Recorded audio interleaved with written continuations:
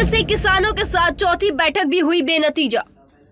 किसानों ने किया केंद्र सरकार के पाँच फ़सलों पर एमएसपी देने की बात को खारिज।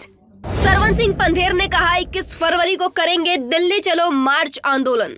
एमएसपी की मांग पर अड़े किसान, घर लौटने का नहीं है प्लान। नमस्कार, मैं नेहा द्विवेदी और आप देख रहे हैं एन भारत।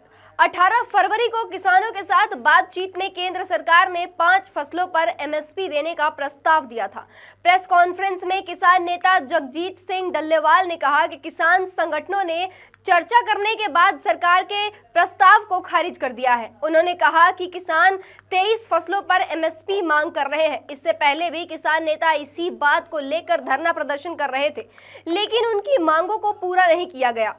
और अब चौथी बार इसी बात को लेकर जब किसानों के साथ केंद्र सरकार की बातचीत हुई तो सरकार पाँच फ़सलों पर एमएसपी देने का प्रस्ताव रखी थी, जिसको किसानों ने अस्वीकार कर दिया था। आपको बता दें कि प्रेस कॉन्फ्रेंस में किसान नेता जगजीत सिंह डल्लेवाल ने कहा कि किसान तेईस फ़सलों पर एमएसपी की मांग कर रही है। इसके साथ ही किसान नेता सरवन सिंह पंधेर ने कहा कि सरकार के मंसूबे हमें दिल्ली कूच करने नहीं देंगे, वो किसानों को रोकने की कोशिश करेंगे, इसलिए अब हम इक्कीस फरवरी को दिल्ली चलो मार्च निकालेंगे।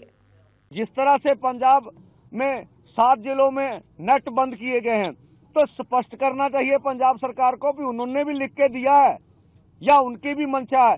जिस तरह से सामने आ रहा भी डीसी पटियाला, उन्होंने सभी ब्रॉड बाइंडर को लिख के दिया है कि कोई मीडिया कर्मी हो, कोई भी हो, कोई ब्रॉड बाइंडर आपने देना नहीं है।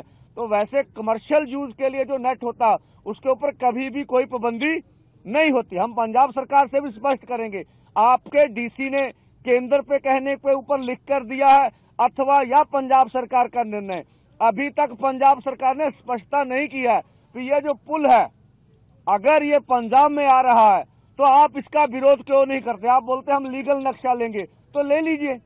या आपके, आपका ऑपरेशन हरियाणा के साथ मिलकर चल रहा है, स्पष्ट तो कीजिए भी क्या हो रहा है। तो हम पंजाब सरकार से भी मांग करेंगे जो हमने बातें उठाई उनको स्पष्ट कर दीजिए ये बात क्या है, किस तरह की है।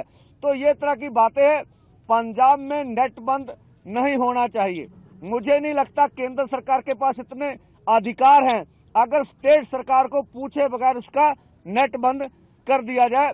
और बच्चों की पढ़ाई, अब स्कूलों में पेपर हो रहे हैं तो इसके लिए कौन जिम्मेवार है? किसानों के साथ केंद्र सरकार के प्रतिनिधियों की चौथी बैठक भी बेनतीजा रही। अब सरकार और किसान एक दूसरे के साथ संवाद से समाधान की उम्मीदें कैसे करेंगे, ये बड़ा सवाल खड़ा हो गया है। जबकि सरकार अपनी कोशिशों को जारी रखना चाह रही है, लेकिन किसान नेताओं ने 21 फरवरी को दिल्ली कूच को हरी झंडी देने का फैसला कर लिया है। अब बैठक में शामिल होते रहे तमाम बड़े किसान नेताओं ने सरकार के खिलाफ तीखे तेवर दिखाने शुरू कर दिए हैं। इसी कड़ी में जगजीत सिंह डल्लेवाल ने कहा, हमारी सरकार बाहर से एक लाख पचहत्तर हज़ार करोड़ रुपए का पाम ऑयल मंगवाती है। वो सभी लोगों के बीमार होने का अहम कारण बनता जा रहा है। फिर भी उसे मंगवाया जा रहा है। अगर यही पैसा देश के किसानों को तेल, बीज, फ़सलें उगाने के लिए और उनके ऊपर एमएसपी की घोषणा करें और खरीदी की गारंटी दी जाए तो उस पैसे से काम चल सकता है।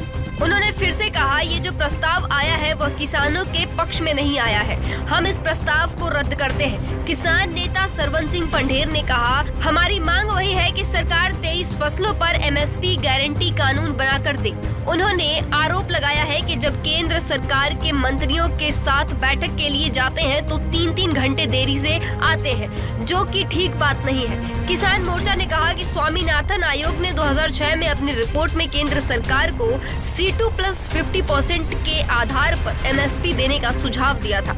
बयान में कहा गया था कि इसी के आधार पर तमाम फ़सलों पर वह एमएसपी की गारंटी चाहते हैं। इसके ज़रिए किसान अपनी फ़सल एक फिक्स रेट पर बेच सकेंगे और उन्हें नुकसान भी नहीं उठाना पड़ेगा किसान मोर्चा ने कहा कि अगर मोदी सरकार बीजेपी के वादे को नहीं लागू कर पा रही है तो प्रधानमंत्री ईमानदारी से जनता को बताएँ। साथ ही आपको बताते चले कि C two plus fifty percent क्या है, जिसके आधार पर स्वामीनाथन ने एमएसपी देने का सुझाव दिया था दरअसल C two plus fifty percent एक फॉर्मूला है, जिसके आधार पर एमएसपी निकाला जाता है, जिसमें मेथड एक और दो और तीन को भी जोड़कर बनाया जाता है। इसमें अगर मेथड एक की बात करें तो एक में ए टू यानी प्रत्यक्ष लागत, जिसमें बीज, खाद, कीटनाशक, श्रम, ईंधन, सिंचाई और दूसरा method A two plus F L जिसमें पारिवारिक श्रम, इन सभी को जोड़कर जितना लागत लगती है, उसका कुल मूल्य और उस पर 50 प्रतिशत जोड़कर एमएसपी होता है। बयान में कहा गया है कि इसी के आधार पर तमाम फ़सलों पर वह एमएसपी की गारंटी चाहते हैं। आंदोलनकारी किसान इसी फॉर्मूले के आधार पर एमएसपी की गारंटी लागू करने की मांग कर रहे हैं और जब तक उनकी ये मांग पूरी नहीं होती है, वो ऐसे ही आंदोलन करते रहेंगे।